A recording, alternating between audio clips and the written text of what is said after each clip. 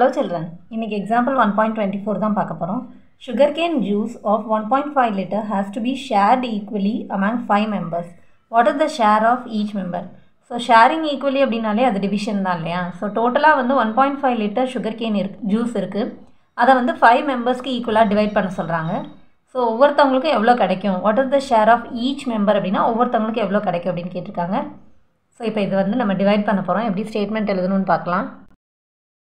So quantity of sugar cane juice sugar cane juice வந்து so டோட்டலாக எவ்வளோ இருந்தது அப்படின்னா ஒன் பாயிண்ட் ஃபைவ் லிட்டர் இருந்தது இல்லையா?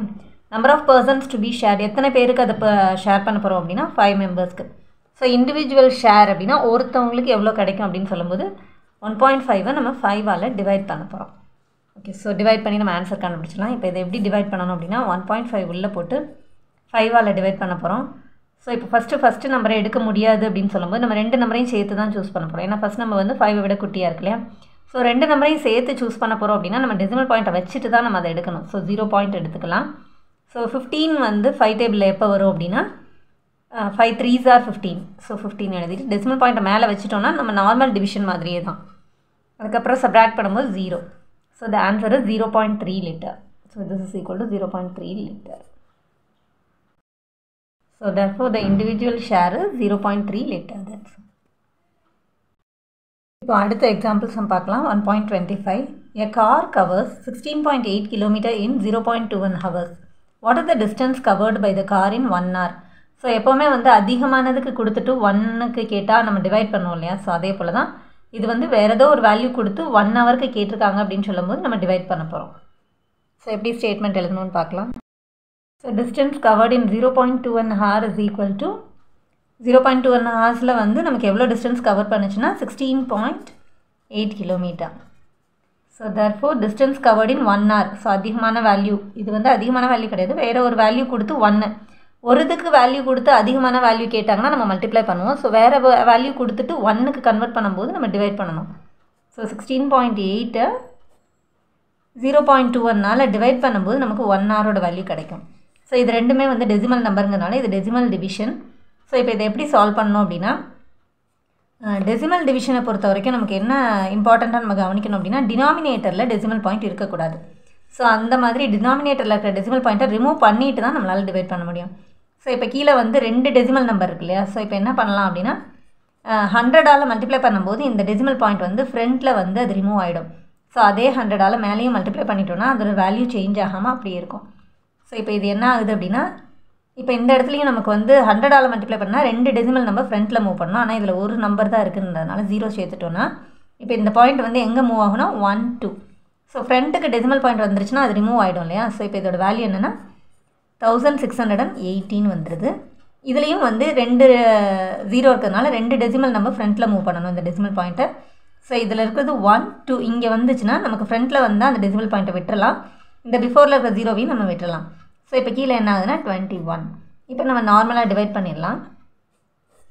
ஸோ டுவெண்ட்டி ஒன்னை வெளியே போட்டு தௌசண்ட் சிக்ஸ் ஹண்ட்ரட் எயிட்டி உள்ளே போட்டோன்னா ஒரு நம்பர் எடுக்க முடியாது ரெண்டு நம்பரும் எடுக்க முடியாது. ஏன்னா டுவெண்ட்டி ஒன்னை விட சிக்ஸ்டீன் ஸ்மாலராக இருக்குது ஸோ மூணு நம்பர் எடுக்கும்போது twenty one eights are hundred and sixty eight so இப்போ நான் சப்ராக்ட் பண்ணும்போது ஜீரோ அடுத்த ஜீரோவை கீழே இறக்கணும்னா இந்த ஜீரோவுக்கு கண்டிப்பாக மேலே ஒரு நம்பர் ஜீரோ கொடுக்கணும்.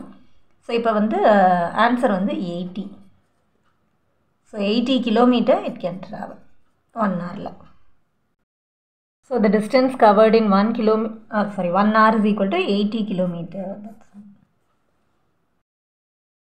அடுத்த எக்ஸாம்பிள்ஸும் பார்க்கலாம். One point twenty six the perimeter of a regular polygon is seventeen point five centimetre each side measures two point five centimetre find the number of sides of a polygon so ஒரு regular பாலிகனோட perimeter எவ்வளோன்றதை கொடுத்துருக்காங்க.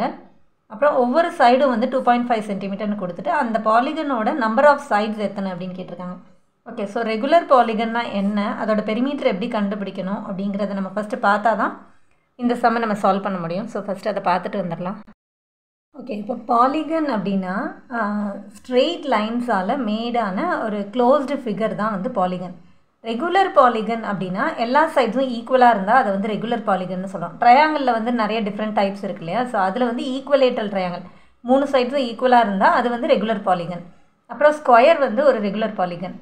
அதே போல் Pentagon அப்படின்னு சொல்லும்போது five sides இருக்கிறோம். அதுவும் வந்து எல்லா சைட்ஸும் ஈக்குவலாக இருந்தால் அதுவும் ஒரு ரெகுலர் பாலிகன் தான்.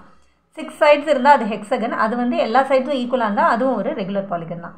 ஓகே ஸோ ஒரு ரெகுலர் பாலிகனோட பெரிமீட்டர் கண்டுபிடிக்கிறது எப்படி அப்படின்னா எல்லா சைட்ஸையும் ஆட் பண்ணுறது தான் பெரிமீட்டர் இல்லையா? ஸோ எல்லா சைட்ஸும் ஈக்குவலாக இருக்கும்போது தான் அது ரெகுலர் பாலிகன்னு சொல்கிறோம் ஸோ இப்போ ட்ரையாங்கிள்னு சொல்லும்போது மூணு சைட்ஸ் இருக்கும். ஸோ மூணு சைட்ஸையும் ஆட் பண்ணுற வேல்யூன்னு சொல்லும்போது அதை வந்து நம்ம மல்டிப்ளிகேஷனில் கன்வெர்ட் பண்ணும்போது த்ரீ இயர்ஸ் அப்படின்னு வரும் இல்லையா? ஸோ அதுதான் வந்து அதோட பெரிமீட்டர் அதே போல் ஸ்கொயரோட பெரிமீட்டர் கண்டுபிடிக்கிறதுக்கு வந்து ஃபோர் எஸ் யூனிட்ஸ் நாலு சைட்ஸ் இருக்கும். ஸோ நாலு சைட்ஸ் ஆட் பண்ணுறதுன்னு சொல்லும்போது அதை ஃபோர் இன்ட்டு எஸ் யூனிட்ஸ்னு எழுதிக்குவோம். அதே போல் பென்டகன் அப்படின்னு சொல்லும்போது பென்டகனில் வந்து அஞ்சு சைட்ஸ் இருக்கும். ஸோ அஞ்சு சைட்ஸையும் ஆட் பண்ணுற வேல்யூ அப்படின்னு சொல்லும்போது சேம் சைட்ஸை ஆட் பண்ணுறதுக்கு பதிலாக நம்ம மல்டிப்ளிகேஷனுக்கு போவோம் இல்லையா? So five times S add பண்ணுறது அப்படின்னு சொல்லும்போது அது ஃபைவ் இன்ட்டு எஸ் யூனிட்ஸ் அப்படின்னு வரும்.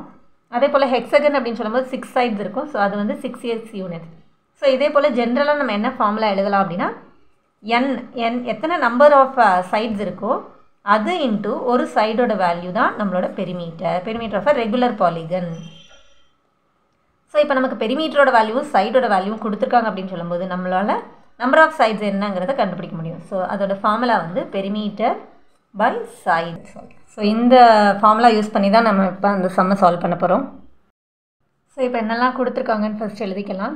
பெரிமீட்டர் ஆஃப் ரெகுலர் பாலிகன் வந்து செவன்டீன் பாயிண்ட் ஃபைவ் சென்டிமீட்டர்னு கொடுத்துருக்காங்க. Side is equal to two point five centimetre number of sides கண்டுபிடிக்கணும் இல்லையா? So number of sides is equal to perimeter by one side so that is equal to perimeter வந்து seventeen point five divided by one side வந்து two point five so இப்போ இது ரெண்டுமே வந்து decimal நம்பரில் division வந்திருக்கு இல்லையா? ஸோ டெசிமலோட டிவிஷன் படி நம்ம என்ன பண்ணணும் அப்படின்னா டினாமினேட்டரில் டெசிமல் பாயிண்ட்டை வந்து ரிமூவ் பண்ணுற மாதிரி நம்ம மல்டிப்ளை பண்ணிக்கணும்.